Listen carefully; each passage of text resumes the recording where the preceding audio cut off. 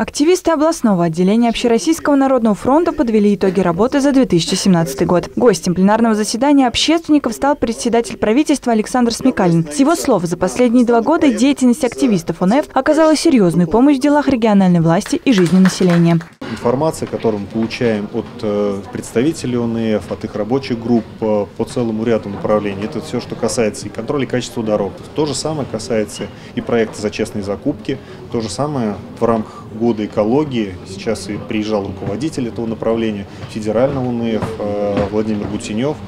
Э, проект по картированию свалок, проект по их ликвидации тоже находится на очень жестком контроле ОНФ. Об этом свидетельствует статистика. К примеру, сейчас на интерактивной карте жителями отмечено 136 стихийных свалок. Из них убрано 65, а это 48% от общего количества. Положительно остается динамика проекта ОНФ «Центр мониторинга благоустройства городской среды». Если касаться формирования комфортной городской среды, во дворах идет ремонт, и по-прежнему он продолжается, где устанавливаются малые архитектурные формы, меняется асфальтовое покрытие, тротуары. Но очень много замечаний – идет от жителей. И, естественно, мы ездим туда, встречаемся с жителями, встречаемся э, с чиновниками, отвечающими за данный участок работы.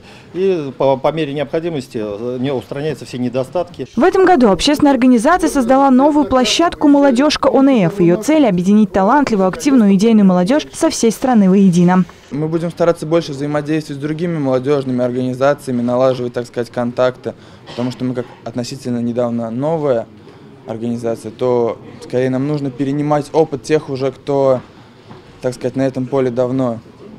Вот а так это для начала нужно набрать молодежь, позитивную, которая готова принести новые идеи. В рамках работы нового направления ульяновская молодежь успела провести несколько акций. Так, команда молодежки организовала школу юного юриста и в память о героях высадила кусты рябины и каштанов. Рената Алиулова, Юрий Конихин. Новости Ульяновской правды.